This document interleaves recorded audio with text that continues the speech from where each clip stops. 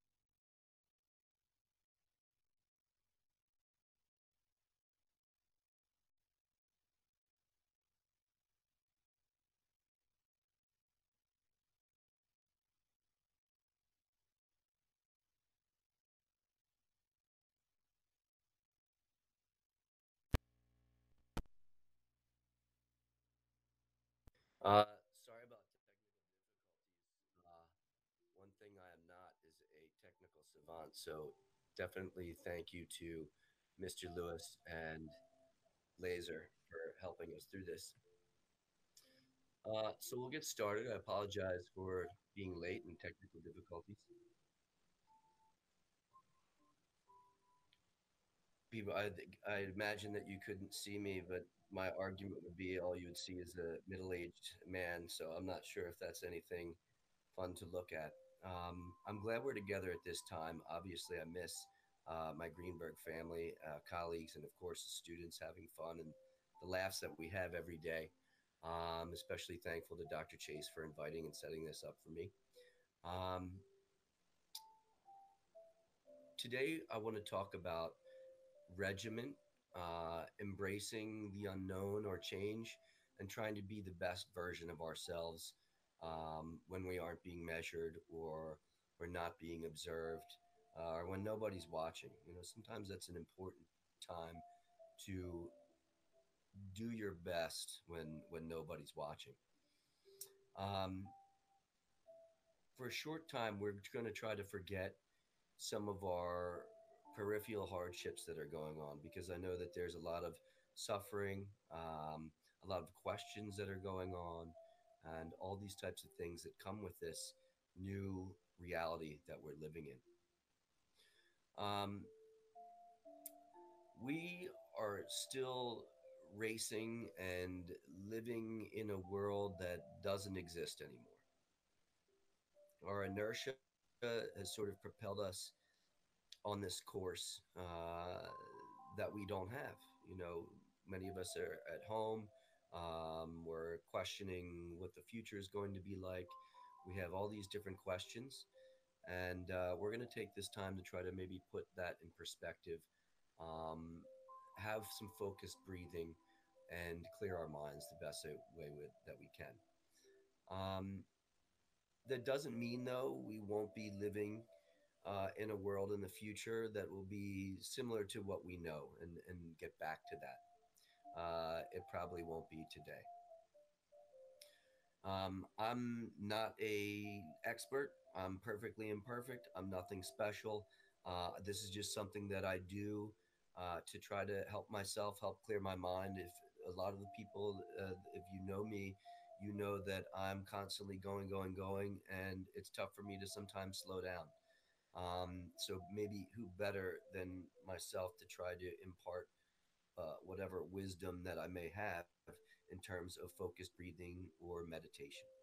Uh, each meditation that I have, there's a theme. The last time that we met was a little bit different. Um, we were talking about different things, and there was some similarities, but today there are going to be obviously some differences, and we're going to try to focus on those things that I mentioned earlier. Uh, one of those being is regiment, especially. Regiment's very important. We'll talk about that in a moment. Again, we're still operating with the same protocol that we did two weeks ago. And that is something that's past, that has left us, right? Um, and that's fine. We're still moving too fast. A lot of us are reeling from unemployment, food, or not trying to, uh, not being able to uh, find food, what we're going to do with our children, our children at home, maybe driving us nuts Yes, too close for comfort. We want to get out of the house. All these things are clouding our minds. And sometimes we need to stop uh, and clear our minds and embrace some of these things as uh, painful or uh, uncomfortable as they may be. So, with that old protocol that we operated under, nine to five, a regiment, all this, that is going to be replaced with a new regiment that we're probably going to try to develop uh, for ourselves. And maybe you'll include meditation as part of that regiment. Um, I definitely recommend that for you, especially people that uh, may be hyperactive like myself or need regiment in order to survive. Okay. Many of us are scared of the unknown or what the future will bring. Um, you know, in reality, we don't know what's going to happen tomorrow. But guess what? even when we had our normal lives and things were normal, we didn't know what was going to happen the next day anyway. So, in that regard, there is a similarity. The unknown is something that can be frightening to us, right? Uh, I always call this embracing the darkness. Embracing the darkness is something that is super important for any person that's embarking on a new journey, uh, a new skill set that they are picking up, uh, the unknown, discomfort, whatever it might be. It's very important that you sign yourself uh, over to this. You may not know the future, but you can know yourself. Uh, and we're going to talk about that shortly because, unfortunately and fortunately, you are going to have to face yourself. And sometimes that's more difficult than we think.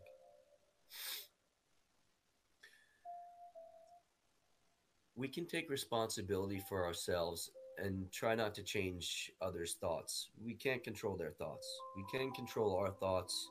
We can control our regimen and our daily life for the most part, right? Because we're never really in control.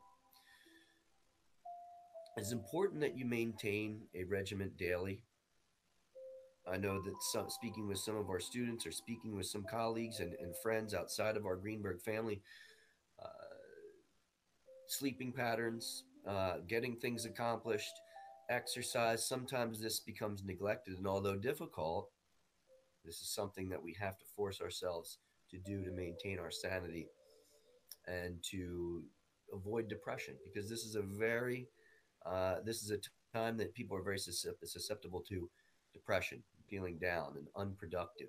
And all those things are going to keep us in a hole and keep us uh, away from our best self. So we're going to try to serve that purpose. Uh, and now more than ever, we all have to find a purpose that we serve at home and with our loved ones, with our families. Some of us may not have been tested like this. You know, being a social studies teacher, this will be the biggest social studies lesson that any of us have ever learned. This is probably for a lot of us the biggest event that has ever happened where we are faced with the unknown. What is the purpose here to survive, to reestablish connections? Is this a time to make amends with each other? Perhaps. The earth, no matter what you believe, uh, is showing us a sign. You know, I, I don't, I don't care what religion, philosophy, politics that you're about. This is certainly a sign. Will we capitalize and make value of this sign that we're being shown. If we are not careful or mindful of our blessings, uh, where does this leave us? Where does this leave us? Are we going to make changes? Are we going to be our best possible selves? Being the best version of ourselves? That's the wake up call. You know, this is the wake up call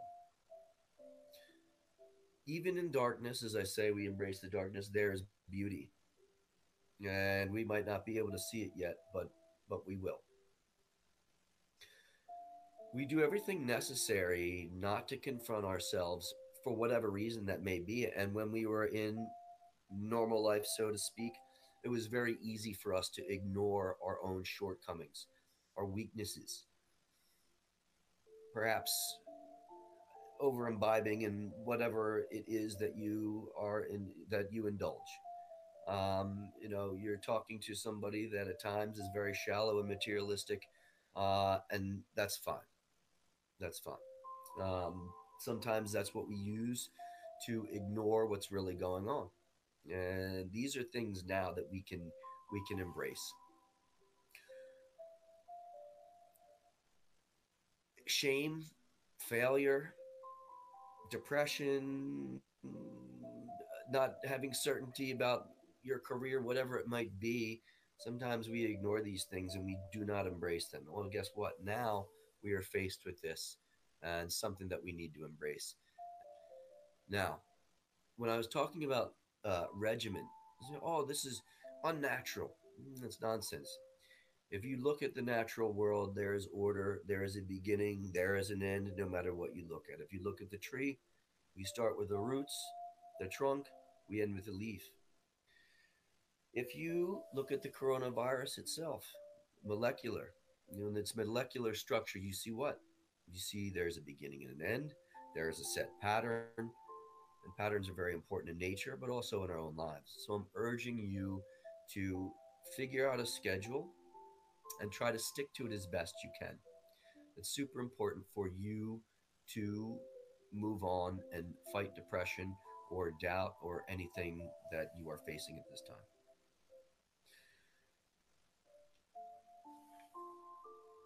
I know that now there's uncertainty and panic sets in. You see a lot of people on the media that are filled with panic, with doubt. You see people hoarding things. You see people acting in all types of behaviors and exhibiting all types of behaviors that haven't been the norm. But this is the appropriate time to practice a regimen and practice self control. If you look at special operators, special forces, Navy SEALs, doctors, athletes, people that are faced with sometimes chaotic situations, how are they able to perform? How are they able to be successful? There's one thing. And it's almost ironic that we're looking at meditation because meditation deals with what? Breathing. But here we're in a time of a virus, an epidemic that impacts your lungs and your breathing. When you talk to a Green Beret, a SEAL, a doctor, an athlete, any one of these people, they tell you, or they might tell you, that they take the panic and they compartmentalize it. They get back to the breathing, and the breathing is what allows them to be successful. Compartmentalization, in this case, is something that will be very helpful. So, in a moment, we're going to start breathing and we're going to sort of give, uh, excuse the hokey expression, but we're going to try to give a cosmic breath uh, out to others, our families and loved ones, people that are suffering from the virus, suffering from the epidemic. And we're going to try to breathe for our own fortification, but also for others. So when you are ready, I want you to close your eyes. And I want you to begin to be conscious of any tension that you might have in your eyes. Are you squinting your eyes?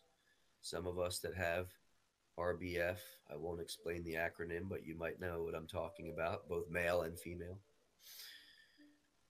Are you scrunching your face? Are you scrunching your eyes? We're going to begin to relieve that tension from our eyes and let our faces flatten out. Are you grinding your teeth? Are you gritting your teeth? Are your, is your jaw closed too tightly? I want you to be conscious at this time of, of any pressure that you have in your face. And we want to let that go. Next, I want you to pay particular attention to your neck and your spine and your shoulders. And with my voice, as we move down your body, I want you to try to let that tension cease from your existence. I want you to be conscious of it, and I want you to breathe it away. Next, maybe your back, your stomach, your, your hips. Try to relax and let your face and your body settle. Maybe your knees and your ankles be the last thing that you think of about. Maybe your hips. Now I want you to focus on your breathing.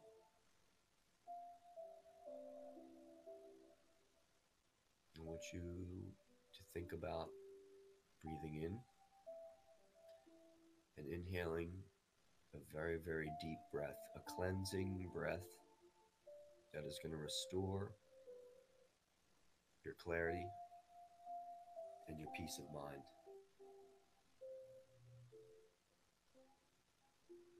And I want you to exhale as much as you can. We want to get the bad breath, the bad spirits, anything that lies deep within your soul. We're going to picture visually breathing that out of existence, out of our bodies, and out of our minds.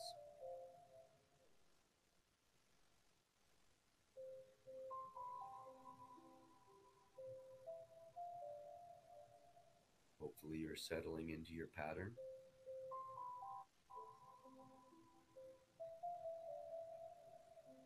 You're getting into a breathing cycle where you can feel yourself become a little bit more comfortable. And aside from my voice, you are in tune with your breath. There isn't any panic. There isn't any negativity. There's just you and your breath.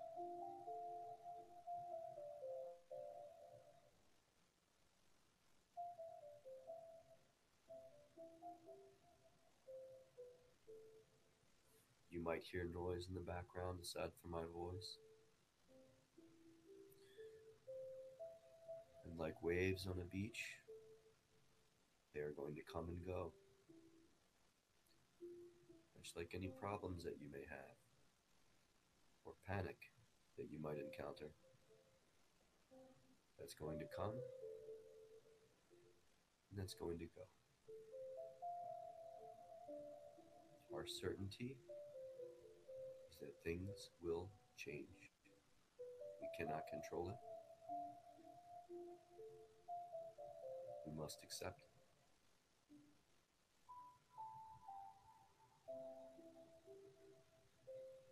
And now, I want you to think about the darkness inside your mind.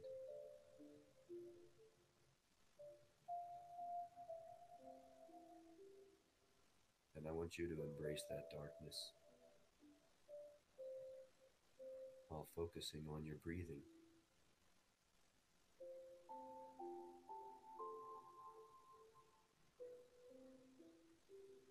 That darkness is there for you to create your own reality, your future existence, and the path forward away from panic, away from uncertainty, but towards productivity, happiness, and clarity.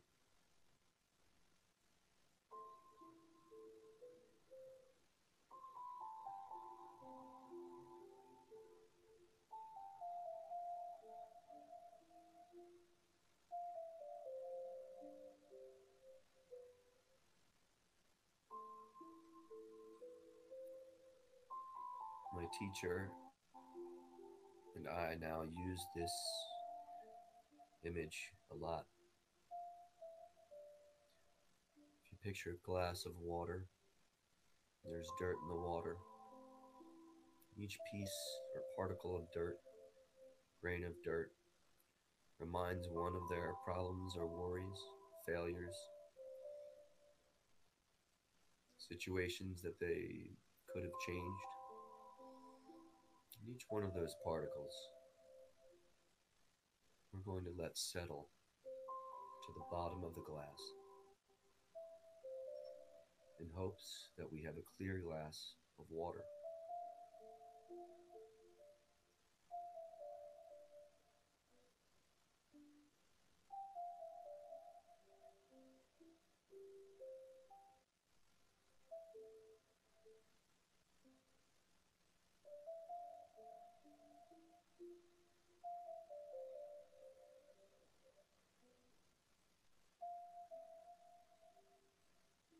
Remember that there is no certainty,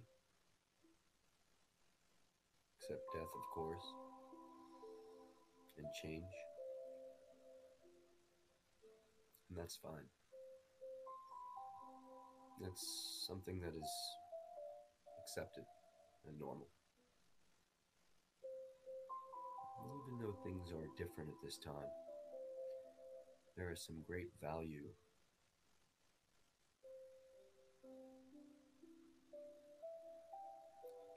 may be forced together as a family with loved ones and sheer chaos going on at your house. That can be a good thing too.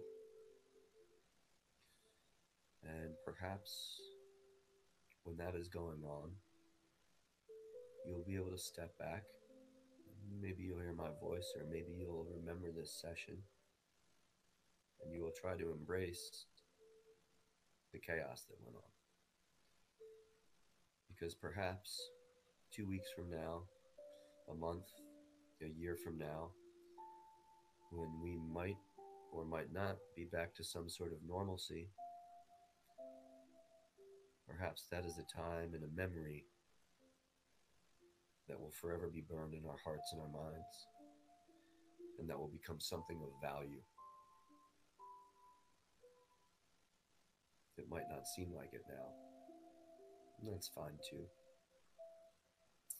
But in the future, perhaps it will bear fruit.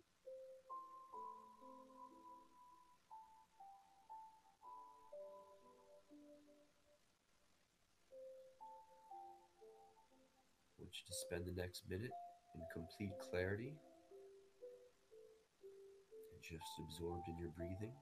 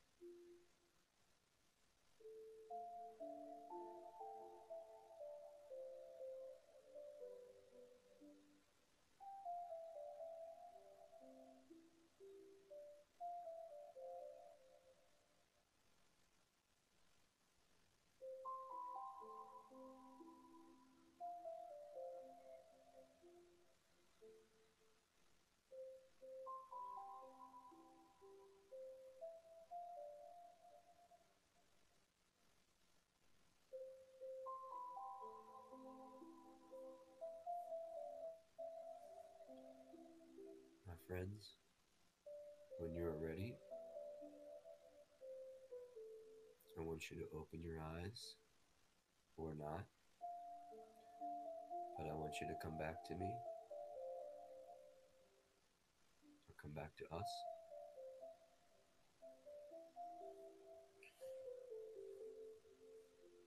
This might be new for some, and it might be something that you wish to practice or pursue.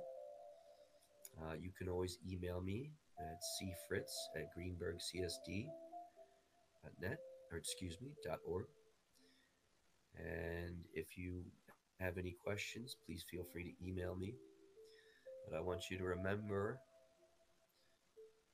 that this is something that you practice and develop. Uh, it, the very least, it will give you some time to clear your mind and give you a pause. I always call it sort of like a, uh, a control alt delete for life sometimes. When things are hectic and life is out of control, I find myself doing this in order to recalibrate. Please remember that the situation that we're in is temporary, it is always changing.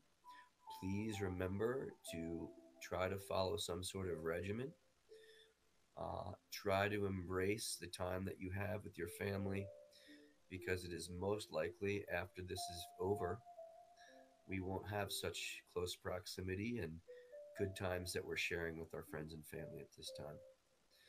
Please be safe, be well, and if you need anything, as always, I'm here at your service. Have a good day.